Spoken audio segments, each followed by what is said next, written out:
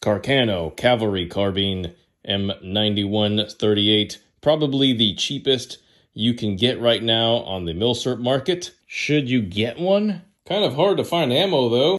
Takes these clips here that you just feed in from the top. Condition can vary very much, especially if you look in the bore. But yeah, it's a really unique World War II surplus carbine. This cool swing out bayonet up here. So you got a little pokey pokey.